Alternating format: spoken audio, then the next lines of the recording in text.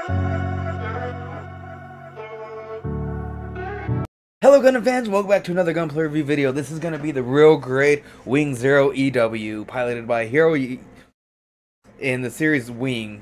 This kit right here, I'm just going to say there's a reason I'm not putting any clips for any poses, because this kit right here is Bandai, you take 10 steps forward and you take 5 steps back. That That's about how bad they are with some of their kits. So, the last review, I didn't do any poses either because I just couldn't get it to pose. Something would break, something would fall off, and I just gave up because it was so frustrating. And I usually try to get them, even on their dinosaur kits, I try to get them. So um, that's going to tell you how this review goes. If you really want the full-on review, you can continue watching the video. Um, I'm going to pick up the kit and do my usual thing, showing what's in the box. If you can make this kit work, I definitely say grab one, but I couldn't do anything with this thing. It's a shelf pleaser, and it's going to stay there for the rest of its existence, if not in the trash can later. So without further ado, let's go ahead and get in this review and help you out in your next Gunpla purchases. Sorry for the spoilers, but I'm, I'm upset with it. Alright, and this is everything that comes in the box of the real grade Wing Zero EW. Or the Wing Gundam EW. Not Zero, because reasons. There's there, I, you can watch my uh, reaction to the anime and see my opinions on this whole EW thing. But anyway, though, it comes with the manual itself. Well, boof. There is a sticker sheet somewhere. I don't know where the sticker sheet is, so... Oh, there it is. No, that's the other one. And there's a sticker sheet somewhere. Too many things. So we have our Beam Saber effect parts. Boof. Nice and green, because the wings do come with those. Um, these pieces are clips that can go on the back of the arms for the transformation that have like little grenades and basically ammunition for the gun. We have our shield, Boof, boof, boof. I don't know why that's there.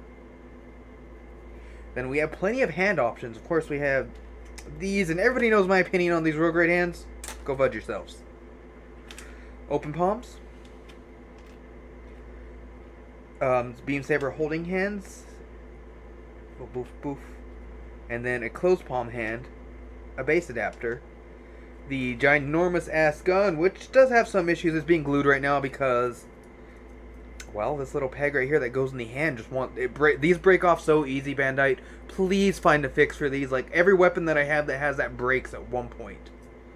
So, yep, and it's a little strange because it's supposed to go so when it turns into ship mode, you can push that piece over its head, and that's it. Now let's go ahead and get into the Gundam because this kit has some accessories, but they're not in abundance. So let's go ahead and take a look here. So, we have full movement down just because this does include part of the transformation.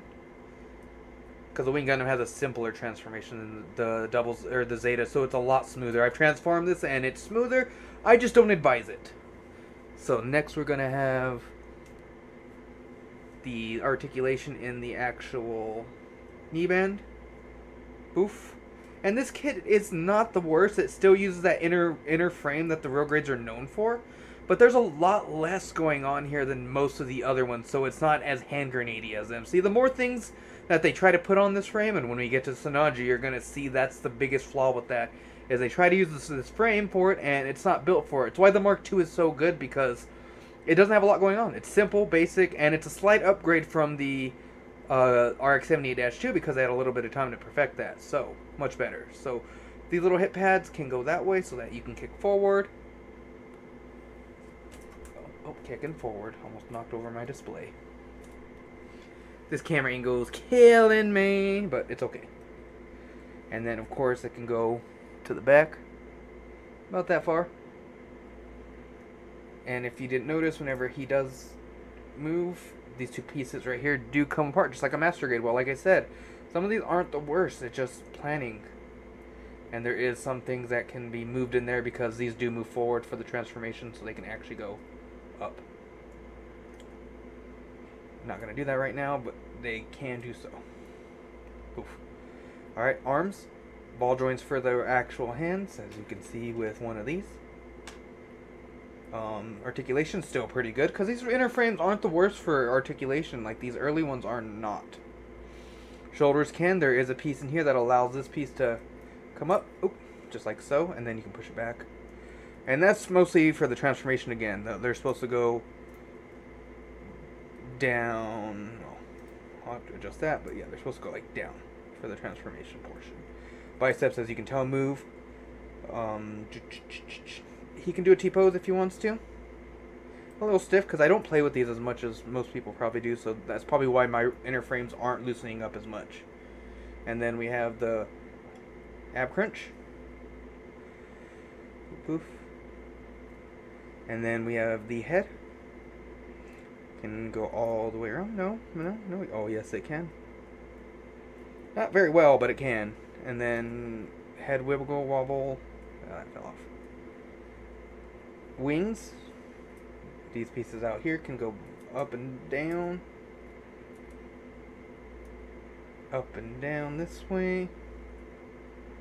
And then back. So yeah, that is the Wing Gundam EW version. Pretty sweet. Looks so good though.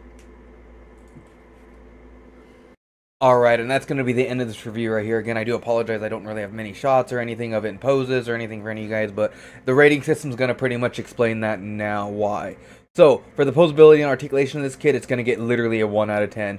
It literally falls apart. Anything breaks on it as soon as you start moving things around. The wings are about the only sturdy thing when you think they weren't, even though they do fall off from time to time when you're trying to play with it or hold it in your hand. Um, appearance on the shelf, it's a real grade, and uh, this real grade does get a 10 out of 10. It looks so good. It's just not functional. It's literally a statue. Once you buy it, you you pose it in whatever you want, and you leave it there. Don't don't ever touch it again. Literally, it's either going to be there, and if you touch it again, it's probably going to go into the garbage can after that, and then you're going to buy another one if you want another one for your shelf. Um, the uh, build buildability of this kit, I enjoyed the build actually. It wasn't too bad of a build. It started to get more in depth because you can kind of see Bandai trying to do more in depth real grade builds. So as a real grade build up to this point, it's a seven out of ten. It's not perfect. It definitely needs some things, and so that goes to the last point that I like to go for my rating system: the durability slash playability of this kit. Now this kit right here gets a 1 out of 10 because as it stated with the posability and articulation, all that kind of goes to it. You cannot play with this kit. You cannot sit there and mess with it on your desk while you're in an interview or on a call or Discord or something. Because again, trying to just pose it for the camera and it literally broke. The gun and the hand broke 10 times and I had to wait 2 hours for each time to, to glue to see if I can get it glued in there. Finally got tired of it and glued the gun in the hand and it still broke off. And of course, the wings would fall off if you started to move them too much. Like I said, they're they're not the worst, but they're still not good. The little hand piece. So uh, whenever I'd have to glue the hand, um, it, the the piece into the you know take the piece out, put it on the gun again, because it's actually the little peg. Without that peg, that gun has no stability, so it just kind of wobbles around on the kit. And so anytime the hand would, and it was also loose, so it would fall down. So I'd have to glue that a little bit to tighten it up, or put something in it to make it tighten it up, and it would still fall. And then I'd have to do it again. But the wrist piece that that connects into the arm, because there's a little piece that connects into the cuff, would fall off too as soon as I'd pull it off, and then it'd be a bitch trying to push it together. So this kit right here, Bandai, come on, you guys need to pick it up, which they do later on as I get towards the newer ones. They did pick the pace up. They did the quality got better. Everything just got better as the time went on, but up until this point, we got some good kits and we got some bad ones. So it's it's been so off and on with the real grade. So for every like five good real grade kits up to this point, you literally have 10, 15 bad ones. It's just so terrible up to this.